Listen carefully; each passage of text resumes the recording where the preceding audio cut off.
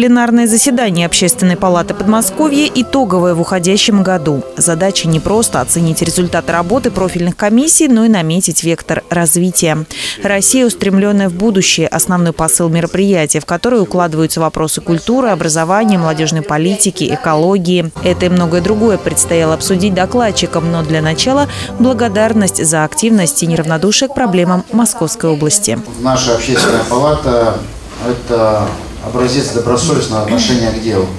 Потому что очень многие люди здесь сидящие очень востребованные, очень занятые, э, которые несут э, огромную нагрузку, самую разную, общественную, деловую.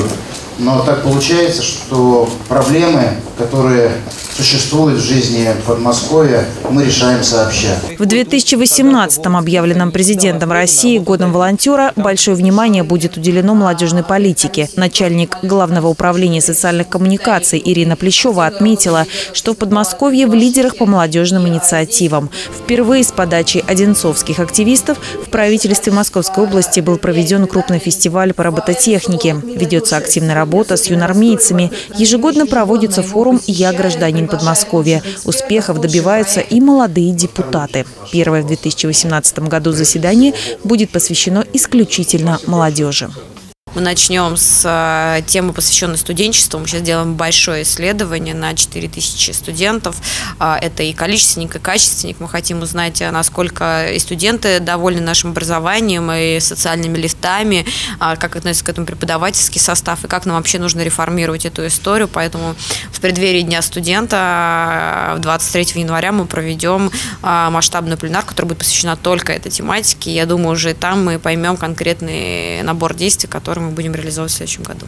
С молодежью нужно работать. Это подтверждают результаты социологического исследования, проведенного в ЦИОМ. Михаил Мамонов, руководитель исследовательских проектов, доложил, что только четверть опрошенного студенчества готова заниматься волонтерской деятельностью.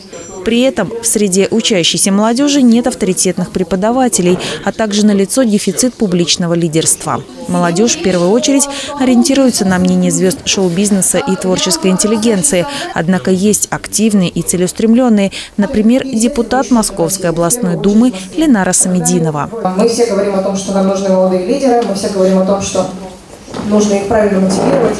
И зачастую, к сожалению, у нас у самих, у взрослых, у молодежи очень потребительское отношение.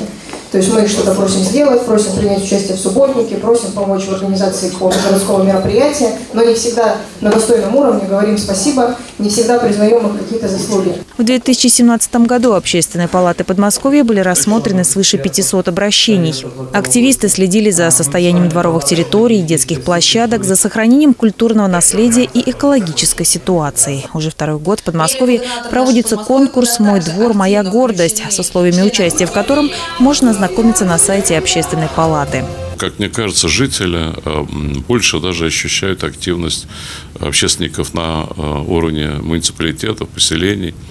И э, там недавно прошли перевыборы появилось очень много людей, активных, неравнодушных, и они очень активно вовлечены в э, жизнь Московской области, причем во всех ее измерениях. В завершении заседания Общественная палата Подмосковья проголосовала за выбывших, а также вновь вступивших членов. Свои полномочия заместителя председателя сложила и Марина Юденич, которая перешла на должность председателя Совета при губернаторе по развитию гражданского общества и правам человека. Ее место единогласным решением заняла Татьяна Дмитриева. Мария Подъепольская, Станислав Трифонов, телекомпания «Одинцова».